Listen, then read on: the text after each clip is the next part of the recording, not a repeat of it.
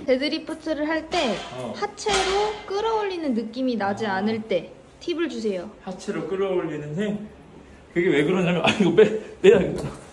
하체로 끌어올리는 힘이 느끼는 쉬운 방법을 알려줄게. 내가 저번에 clean 데드리프트 하는 법에서 설명했던 것처럼 하면 되는데 사람들이 대부분 이 몸을 펴놓고 편하게 있을 줄 몰라서 그래. 그게 무슨 말이냐면 우리가 편안하게 정면을 보고 서 있으면은 양손에 뭐 100kg씩 있다 하더라도 가슴만 피고 있으면 별다른 힘을 주지 않아도 버틸만 하거든 이렇게.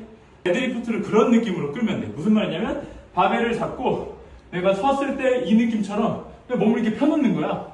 이 상태에서 팔에 힘 풀고 다리로 그대로 밀면 되는데 이때 다리로 밀려고 했다고 사람들이 앉아서 밀려고 하니까 안 밀어지는 거야. 그래서 어떻게 해야 되냐면 이게 아니라 이거야.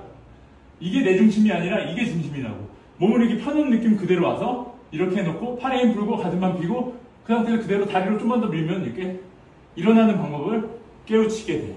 이걸 알게 되면은 나중에 일반 데드리프트를 하든 무슨 데드를 하든 다리로 미는 느낌을 쉽게 익힐 수 있을 거야.